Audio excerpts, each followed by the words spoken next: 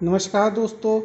तो देखिए, हमें कैसे पता चलेगा कि हमारा बोर्ड जो है चालू कंडीशन में है या ख़राब कंडीशन में या फिर बंद कंडीशन में जो भी है? तो उसके लिए मैंने ये डायग्नोस्टिक कार्ड लगाया है, ठीक है? तो ये बग रीडर कार्ड है, इसे बग कार्ड भी बोलते हैं, आप डायग्नोस्टिक कार्ड बोल सकते हैं। तो इस पर कैसे पता चलता है? तो मेनली क्या होता है, पहले मैं जनरली बता देता हूँ। यहाँ पर नंबरिंग चेंज होती है फोर डिजिट और यहाँ पर लाइट जलती है, और कुछ ब्लिंक होती है। तो कैसे पता चलता है? मतलब जब यहाँ पर नंबरिंग आए और चार, पाँच या छः, सात बार नंबरिंग कंटिन्यू चेंज हो तो समझ लीजिएगा कि बोर्ड में डिस्प्ले आ चुका है। ठीक है? और अगर यहाँ पर ज़ीरो ज़ीरो आ रहा है या फिर कुछ अलग आ रहा है या बार बार नंबरिंग चेंज नहीं हो रही तो समझ जाइए इसमें कुछ फॉल्ट है। तो अभी मैं इसको चालू करके देखता हूँ।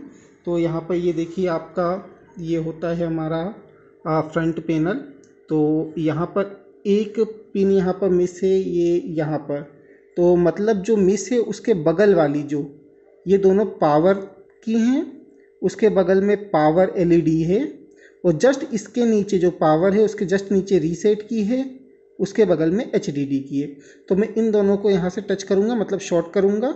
तो यहाँ पर देखते हैं हमारा ये क्या बताता है, मैं इसको शॉर्ट करता हूँ, ये मैंने करा। अब ये देखिए, यहाँ पर ब्लिंकिंग चालू हुई है। ये देखिए, ये ब्लिंक कर रहा है कंटिन्यू और फिर सात आठ बार करके ये रुक गया, है ना? तो मतलब ये हमारा बोर्ड जो है, ये ओके कंडीशन में बिल्कुल चालू है।